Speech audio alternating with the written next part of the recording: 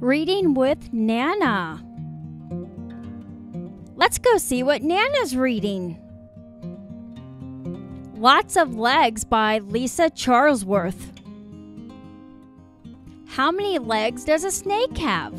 A snake has no legs. How many legs does a girl have? A girl has two legs. How many legs does a horse have?